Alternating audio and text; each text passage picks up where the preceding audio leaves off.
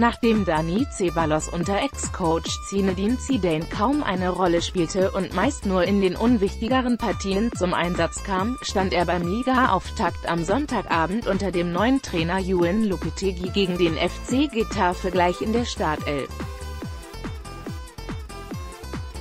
Im Anschluss an die Partie zeigte sich der Spanier zufrieden mit seinem Einsatz und dem 2-0-Erfolg. Einem Groll gegen seinen französischen Ex-Coach hegt er derweil nicht mit einem Sieg in die Ligasaison zu gehen, ist wichtig, erklärte der 22-jährige Spanier nach Abpfiff der Partie gegen den FC Getafe, Villarreal Total. Wir haben sehr gut gespielt. Ich bin stolz und glücklich über meine Leistung und die der Mannschaft. Der Trainer ist zufrieden mit dem Team, Ceballos stand gegen die Mannschaft aus dem Madrider Vorort von Beginn an auf dem Rasen und wurde erst nach 71 Minuten ausgewechselt. Als das Spiel beim Stande von 2 zu 0 für die Königlichen längst entschieden war, durfte gegen Getafe von Beginn an ran und zahlte das Vertrauen mit einer guten Leistung zurück. Dani Ceballos während er unter seinem neuen Trainer Juan Lopetegui aller Voraussicht nach auf regelmäßige Einsatzzeiten hoffen darf, spielte er unter Zinedine Zidane keine große Rolle und kam nur unregelmäßig zum Einsatz. Einen Groll gegen den zurückgetretenen Erfolgscoach und ehemaligen Weltfußballer hege er aber nicht, wie er verriet, im Gegenteil. Nach einer harten Saison ohne Spielpraxis ist es schwer, das Vertrauen zu bekommen. Zidane ließ mich nicht spielen. Warum, muss man ihn fragen. Er setzte auf andere, aber ich habe ihm nichts vorzuwerfen.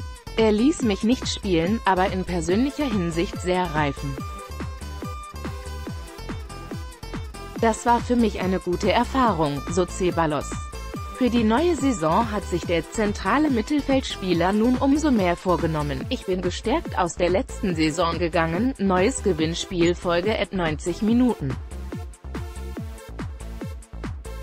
Der auf Twitter und retweet diesen Tweet, um ein Bundesliga-Trikot deiner Wahl zu gewinnen. Das Gewinnspiel läuft bis zum 24. August. Der Gewinner wird automatisch ermittelt und anschließend bekannt gegeben. pick.twitter.com-mecker6ccg5kl 90 Minuten de 90 Minuten de 13